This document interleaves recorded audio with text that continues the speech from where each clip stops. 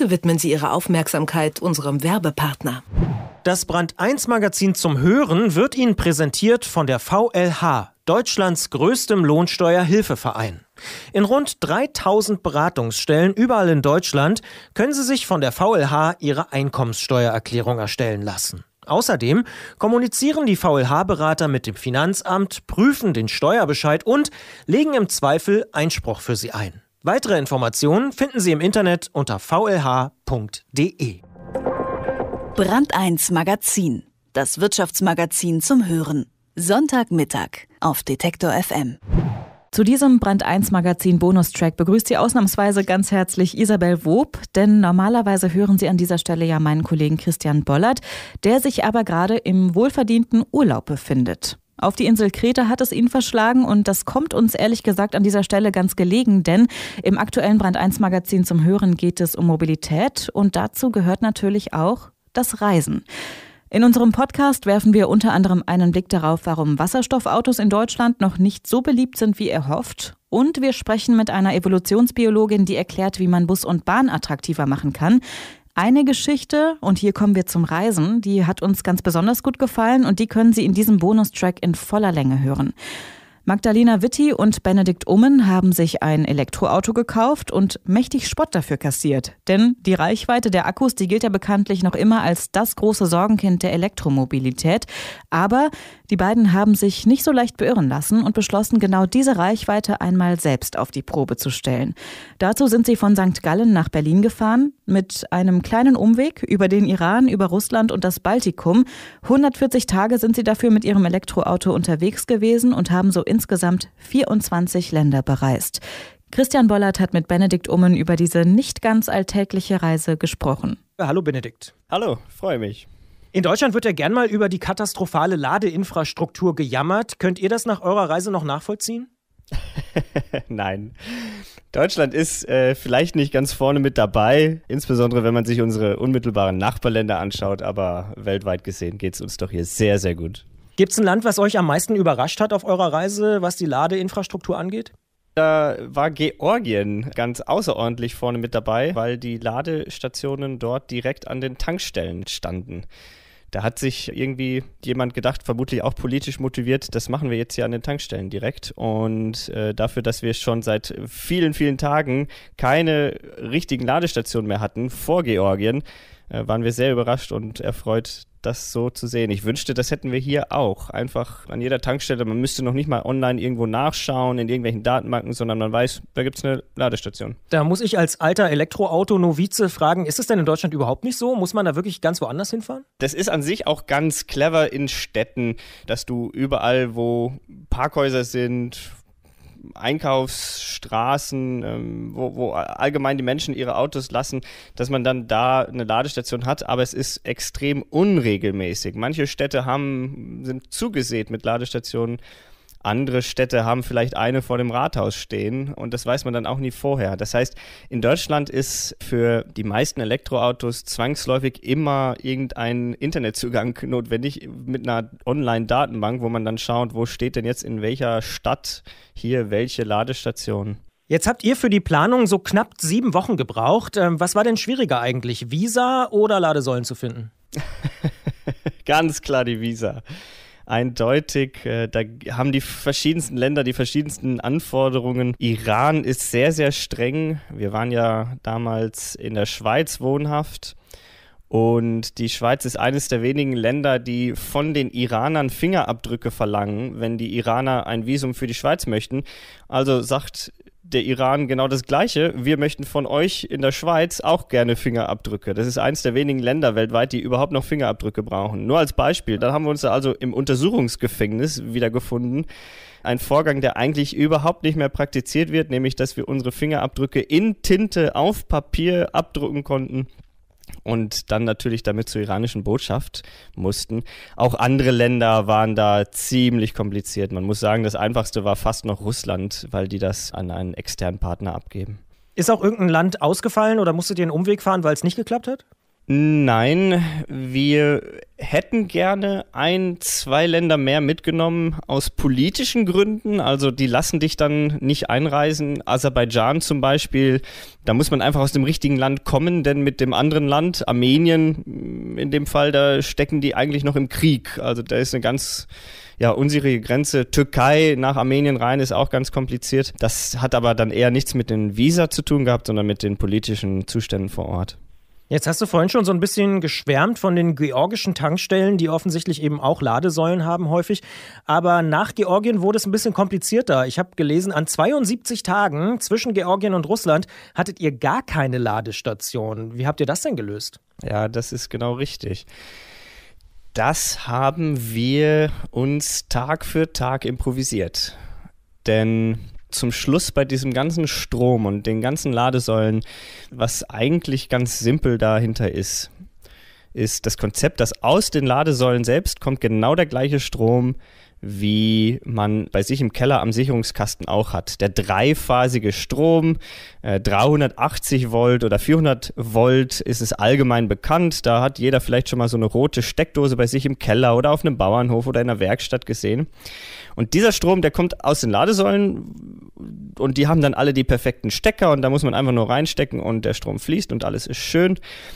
Oder man muss sich das selbst basteln, wenn halt so eine Ladesäule da nicht steht. Und für diese 72 Tage haben wir Tag für Tag beim Hotel, wo wir übernachten wollten, in Autowerkstätten, vielleicht auch an Tankstellen, wenn wir gesehen haben, die haben hier irgendwie viel Strom äh, oder da war vielleicht sogar eine Steckdose, bei Privatpersonen, in kleinen Fabriken, in Tischlereien, also das ganze Spektrum an, an Möglichkeiten haben wir dann gefragt, ob wir uns mal anklemmen dürfen. Also da hatte ich ein offenes Kabel, insgesamt fünf Adern beziehungsweise vier und da sind dann die drei Phasen, die sogenannten und dann ist dann noch der Neutralleiter und das hat dann irgendwie funktioniert. Es war aber immer improvisiert. Also ich war immer mit Schraubenzieher ausgerüstet, hatte immer mein offenes Kabel, musste immer sehr, sehr vorsichtig sein und schauen, dass wir uns nicht falsch verkabeln dort an so einem Sicherungskasten oder an in schlimmsten Fällen sogar irgendwelchen offenen Drähten.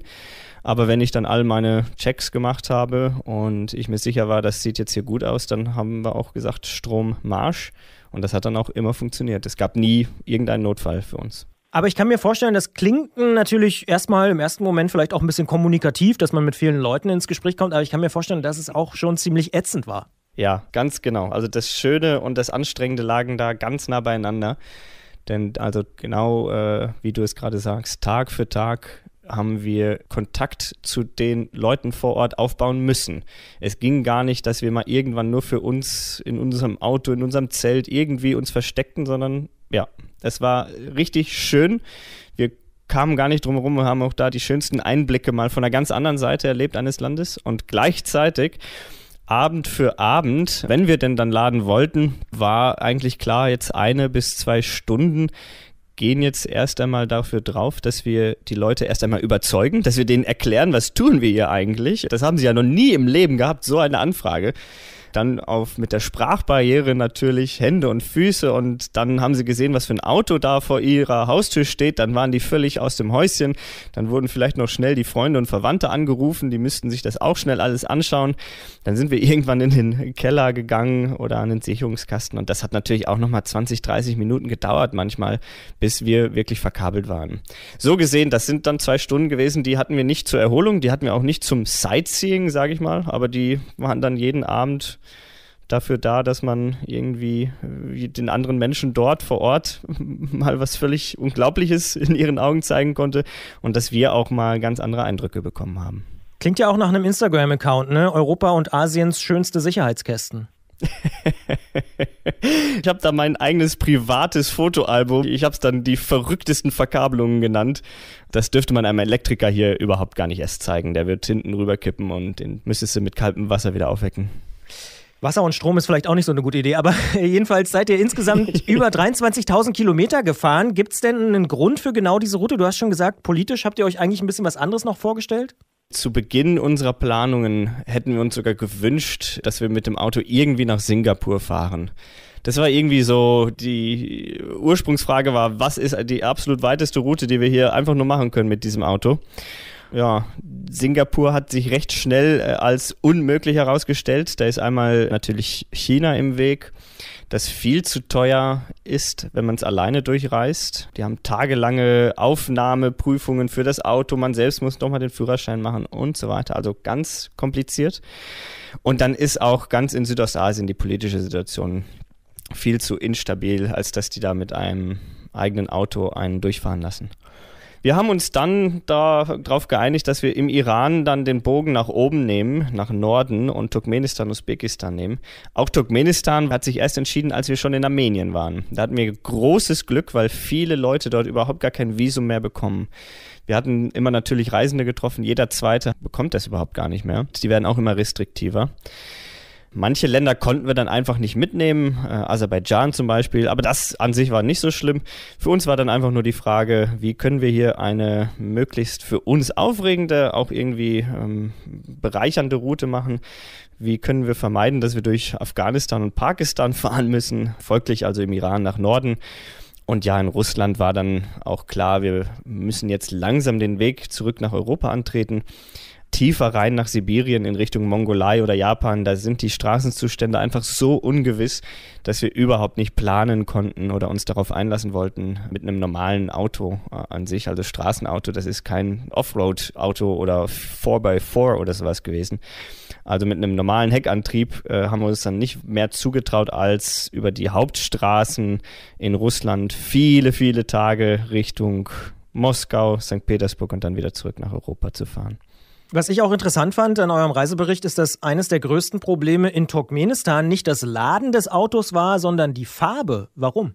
Der Diktator ist wirklich Diktator, wie er im Buche steht, wie man ihn sich nur wünschen kann. Der Diktator von Turkmenistan findet die Farbe Weiß die allerschönste. Seine ganze Hauptstadt ist weiß. Alles aus Marmor. Ich glaube, Guinness Buch der Rekorde das meiste verbaute Marmor in einer Stadt findet sich in Aschgabat, der Hauptstadt von Turkmenistan. Und es ist verboten, mit dreckigen Autos oder auch mit nicht weißen Autos in die Hauptstadt einzufahren. Manchmal sieht man noch so grau, da merkt man schon, okay, hier wird jetzt ein Auge zugekniffen bei grauen, also hellgrauen Autos. Aber dass wir da mit einem schwarzen Auto ankamen, das gelbe Aufkleber hatte, das war viel zu viel für die Polizisten, die Grenzpolizisten. Und die haben uns da stundenlang im Niemandsland warten lassen.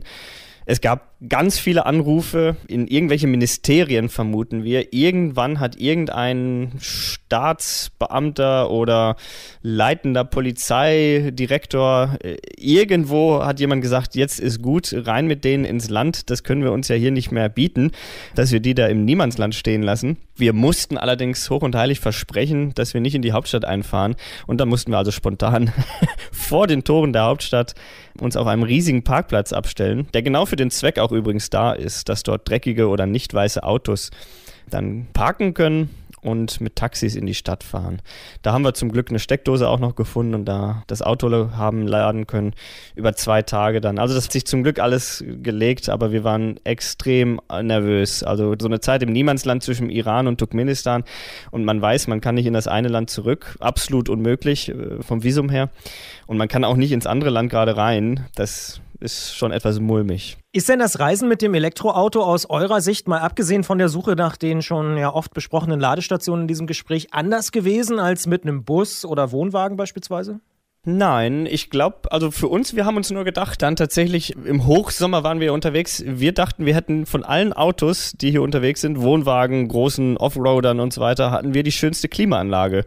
Also abgesehen vom Strom war das gar nicht komisch. Die Straßen haben das auch alles noch hergegeben. Das war nämlich unsere nächstgroße Sorge natürlich, dass die Straßenzustände so schlecht sind, dass irgendwann eine Achse bricht. Aber das hat sich als unnötig erwiesen. Das hat alles gut funktioniert. Man muss natürlich echt das Risiko eingehen wollen. Wenn das Auto kaputt geht, dann hat man ein Problem. Also da waren wir im Hinterkopf immer drauf eingestellt, wenn das hier ganz schlimm endet und kaputt geht irgendwie, dann hätten wir im schlimmsten Fall irgendwie 1000 oder 2000 Dollar auf den Tisch legen müssen. Dann wäre das auf irgendeinen LKW hinten drauf gekommen und der hätte uns bis an die europäische Grenze gefahren. Das muss man einfach im, ja, im Hinterkopf behalten. Es ist natürlich nicht viel Infrastruktur dort und äh, modernere Autos, egal ob das Elektroautos sind oder nicht, die lassen sich schwer dort reparieren in diesen Gegenden. Die haben keine Ersatzteile, auch das Wissen mit moderneren Autos fehlt natürlich. Also die Not-Antonov war noch nicht gemietet, aber ihr hattet einen Plan B. Den hätten wir dann auch improvisiert, genau. Die hätten wir vielleicht auch noch die Not-Antonov genommen. Das hätten wir dann aus der Situation heraus entschieden.